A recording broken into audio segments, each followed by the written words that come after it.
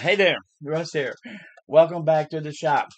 I had somebody ask me about my stand that I use for doing my video recordings. So I thought I'd show you my really highly professional way that I record all my videos since I first started about five years ago uh, when I started putting videos on YouTube. And it all actually occurs right here. Now, what you're watching today is off my laptop that I bought about three months ago to replace this thing because this thing has really been acting up the last six months. It turned out that six months ago it actually was overheating, and I did not know that at first. But I keep it right here on my table, on my desk, is where it's at. Let me turn this down just a little. Okay, sorry about that. Anyway, so there's there's the TV right there that I use, and right above that's the that's the rack. The that's the tracking that the TV the TV rolls back and forth on. That's the whole thing right there, and it just hangs there, and I can roll it from that end of the shop to this side.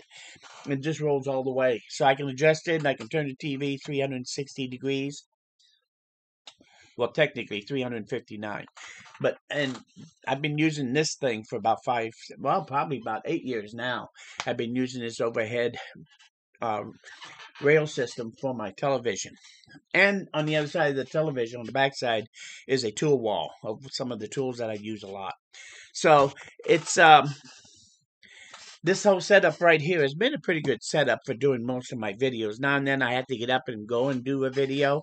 I keep this thing and I attach this, I made this platform and attached it to the top part of a uh, tripod. This is the bottom part of the tripod. This thing is probably 40 years old. It's a good quality one, made of aluminum. And I just set it out. And then the TV, the stand and all, when you pull this, pop this loose. Whoops, I can leave this plugged in. So if I want to move it from this location, all I have to do is unplug the the battery, the power source, and I take it out of this stand here. And this stand is really nothing more than a uh, little platform that I built, and I keep it. Come on, come on out. Ah and this thing kind of drops down in there, and that other hole goes onto a bench dog. So I can actually set this plate anywhere I want, and then I just drop this down in there to hold it. If I'm using it somewhere else, I can set up my tripod, and I can set this down in there, like so.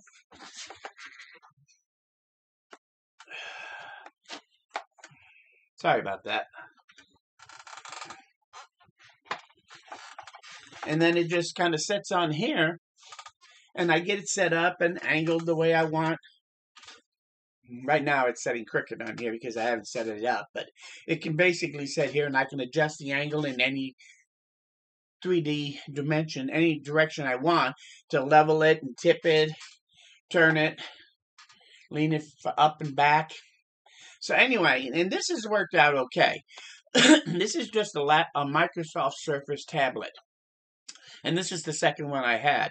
The first one I had was one of the original versions of the Microsoft uh, Surface, and it wasn't even a true Windows system. It just looked like it somewhat.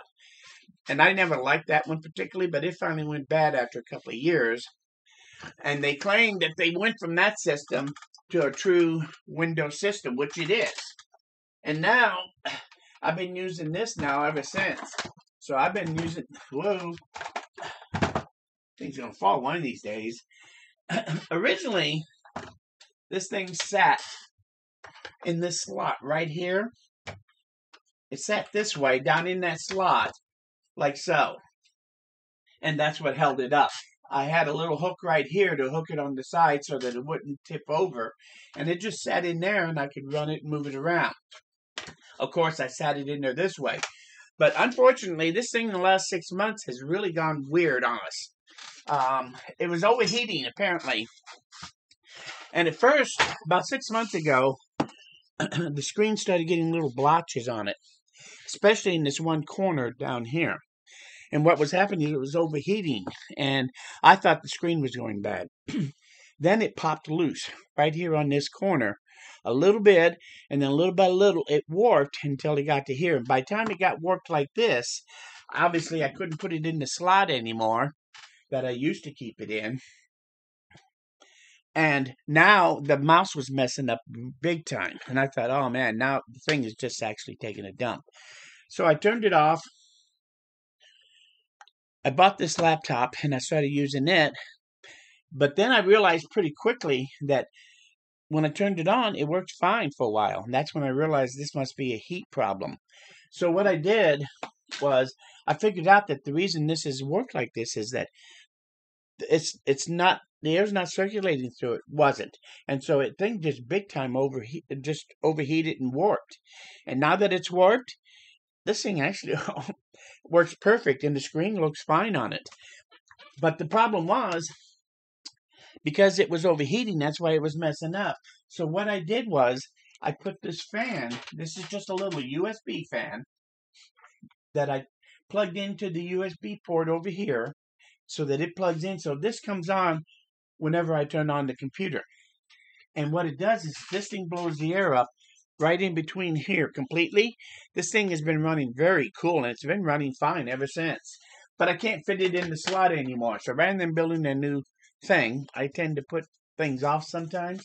I just put a cleat, hot glued a cleat right here to hold it so that it's still tipped back. And then I put another little hot glued a piece on the top of the fan so as to hook that so that it won't fall down so readily.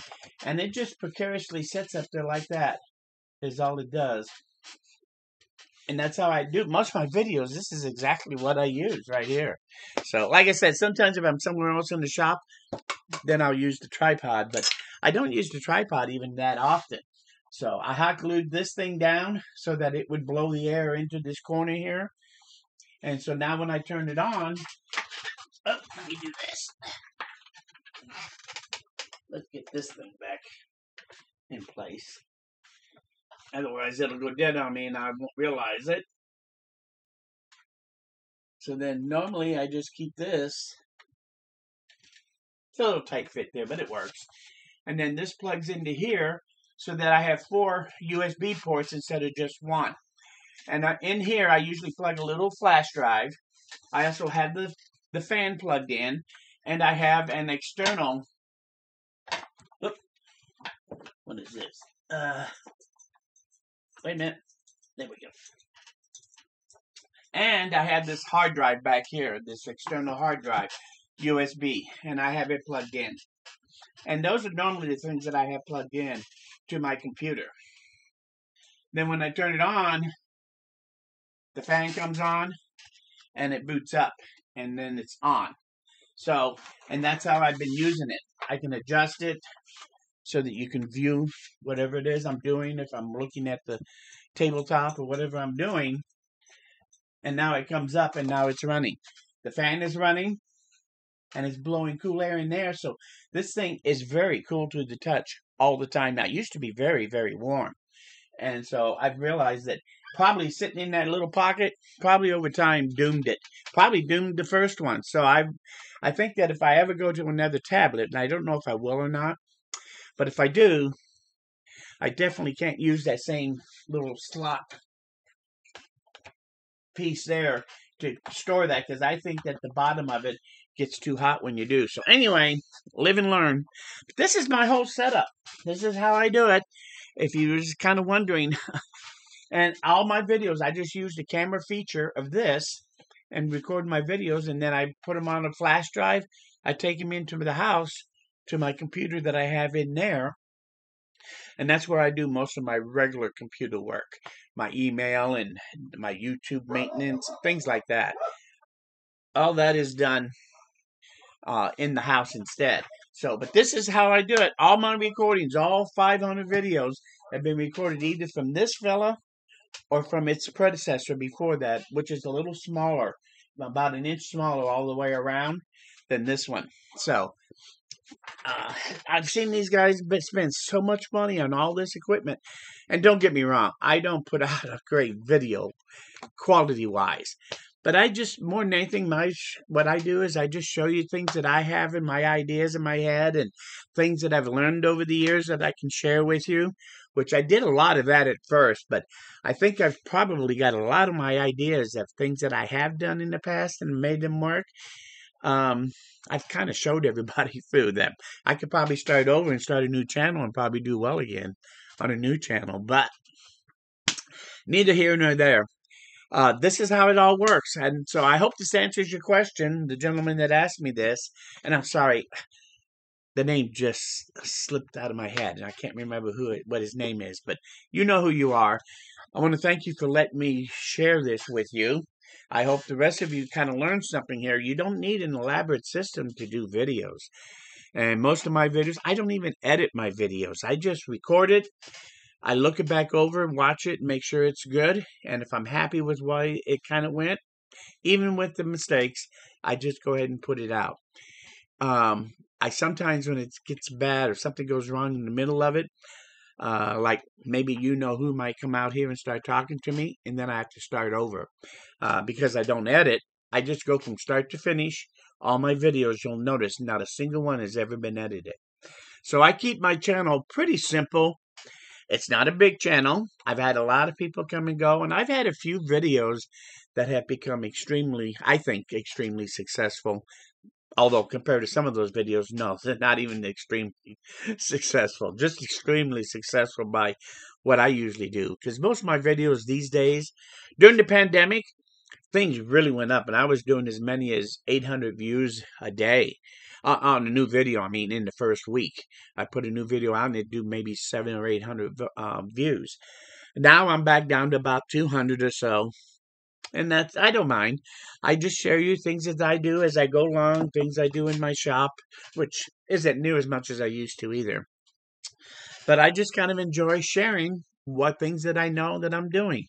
Uh, like my new project where I want to take care of these outages. And I do have a generator, but sometimes all you really need is a battery backup system to kind of get by for a few hours. So that's what I'm working on now is a good back battery backup system that I can recharge with the generator easily, but I can run without recharging the battery system on that, run the whole house on the battery. I theoretically I'll be able to run it for anywhere from 12 hours to 36 hours on uh, one charge. So I'm hoping that most of the time I don't even have to use the generator when the power goes out. Um, so anyway, that's another story. If you've been following my channel, you'll know about all that and how it's going along. So, but this is the whole setup. If you have any questions about this, let me know. I don't have a whole lot of money wrapped up. This used to be the only computer I had in the shop before I bought the laptop. And so out here, this is the computer I use to get on the internet and do things and research.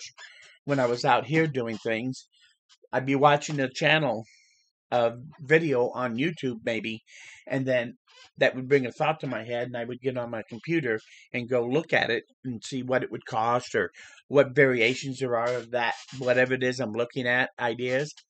And so it would, it's great and handy to have this simple little computer and doesn't take up much space and I can lift it up and put it anywhere I want, really. I can lift the whole pad up and move it somewhere else, wherever I have a bench dog hole.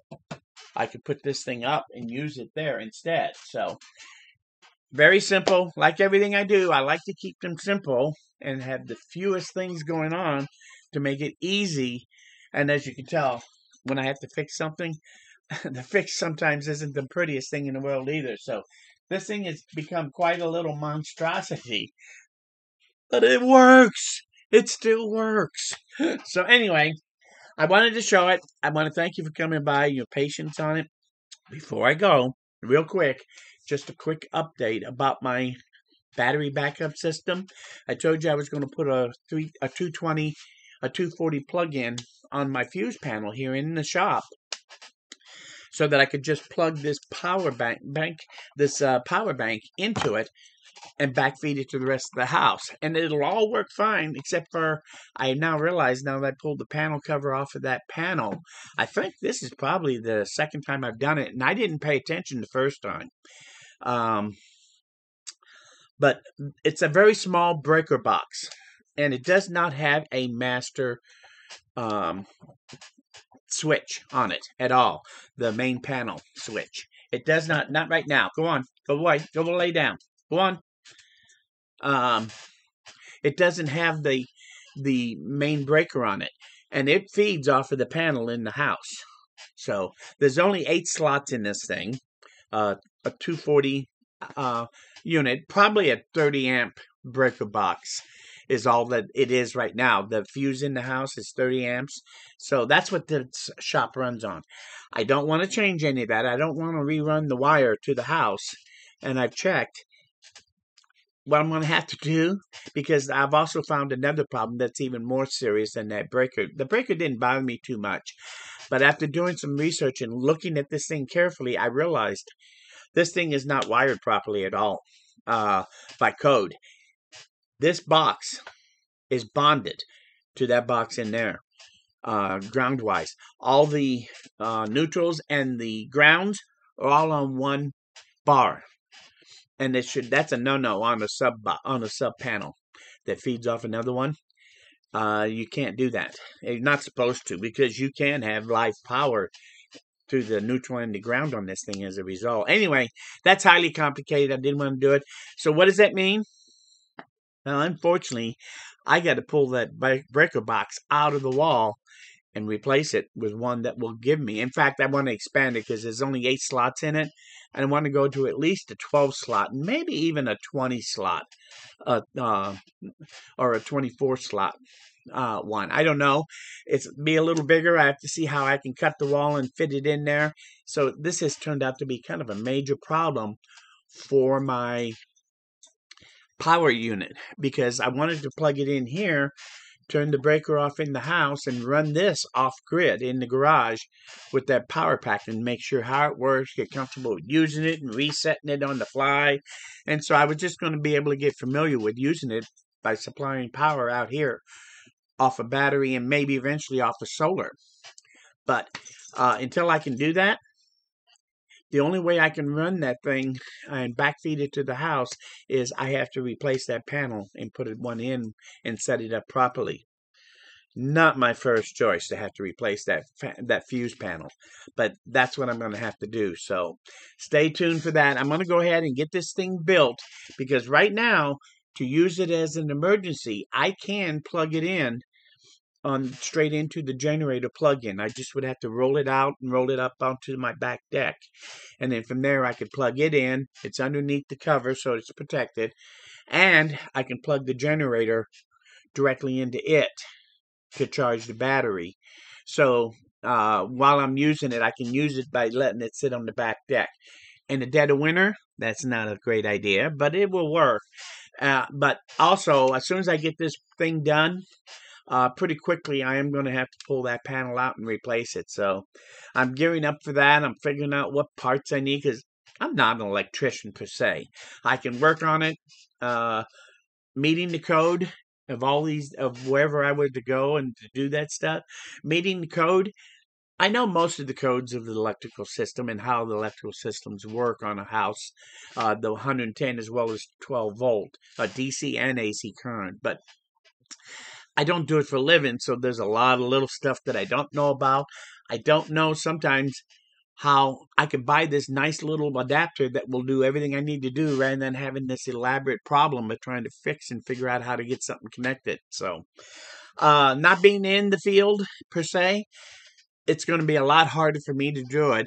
But trying to hire an electrician right now, I have to tell you, that is next to impossible to do uh, in this area is to find an electrician that can do the work and one that I probably would feel comfortable with that would do the work because whoever did this one, there's just it's very bad. I, I don't understand why they did it that way, but the bonding is just such a dangerous thing, and I'm just so shocked to even see it.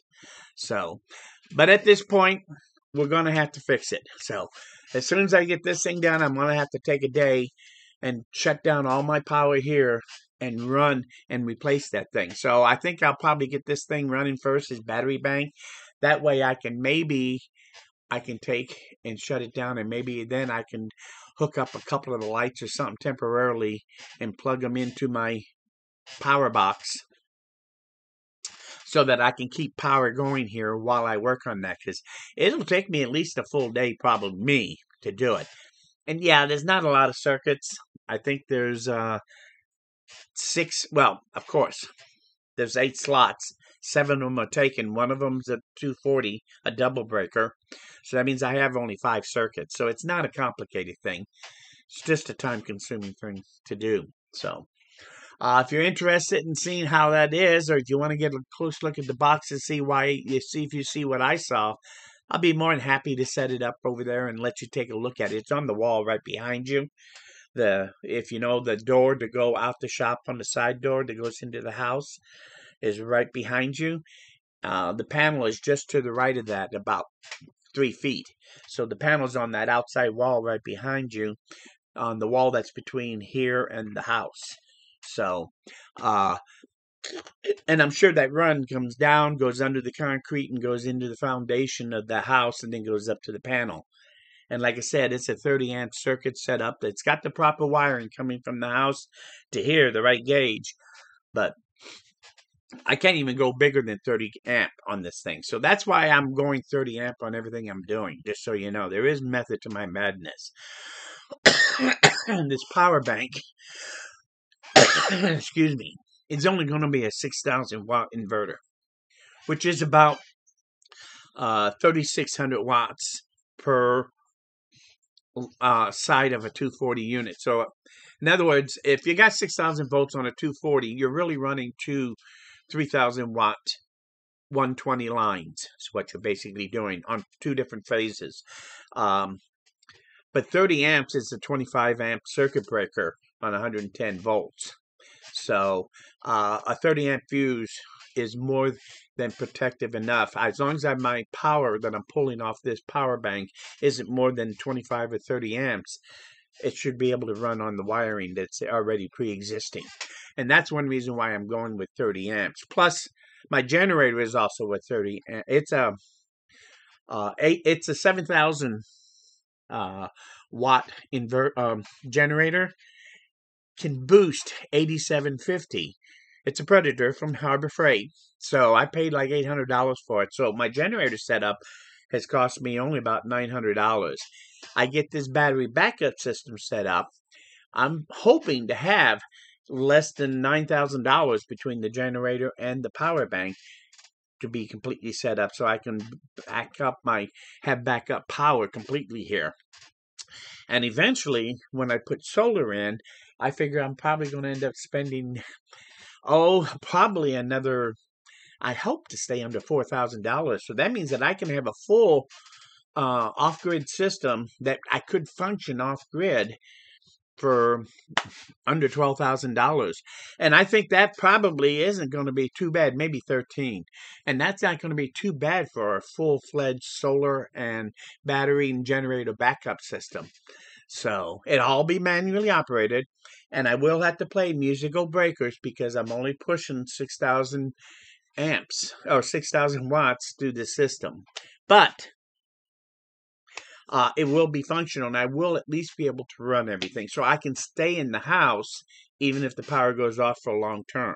So, and that's the idea that in today's world, it seems like this power outages is going to be a lot more common than what it used to be. And even then, before, places like out here in the in the countryside that are in the small towns or even out in the very country, you lose power all the time here in uh, Middle America. I don't know what it's like in other countries or in other parts of the of this country per se, but I hear that there's power outages is not at all that uncommon. So it's nice to be able to supply the power when you need it because I'm so dependent on it. My freezers and refrigerator, I would lose a ton of money uh, if all that went down. So uh, I got to protect what I have and also be able to protect to be able to stay here even if things go out. So I'm working on it. If you have any questions about my whole system and how I'm going so I can be able to hey, hey, it's okay. It's okay. A leaf moved. So anyway, uh, if you have any questions, any thoughts about this, I hope you enjoyed my little enlightenment about the how I do my videos. Because, like I said, it's definitely on a budget. so, but it's not because it's a budget. It's not that I don't want to spend the money. Why should I have to if I don't have to? So I keep everything pretty simple.